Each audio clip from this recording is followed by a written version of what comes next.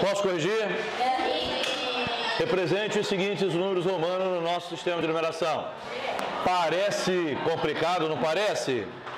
Mas vamos devagarinho, quer ver? Ó. Isso aqui não é um C. E o C não é 100. Então aqui eu tenho o quê? 300. Aqui não é 10. Aqui não é 50.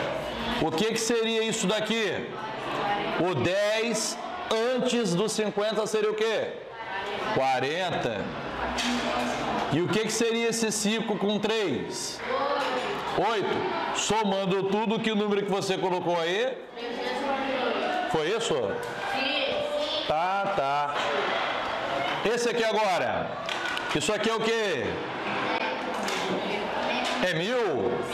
Tá, aqui é mil. E aqui? 500. E aqui? É 10. E esse aqui? É 9.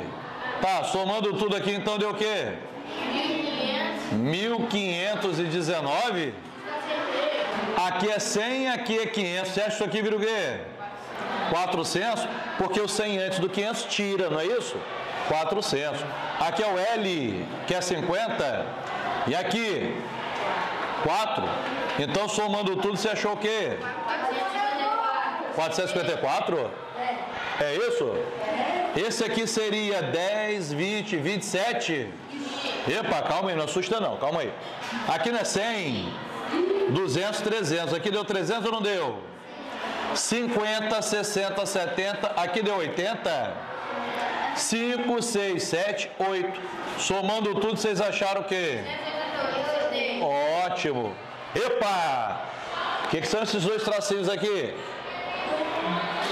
Milhão. Milhão. Se for um tracinho, mil. Dois tracinhos, milhão. Então aqui são o quê? 10 milhões. É ou não é?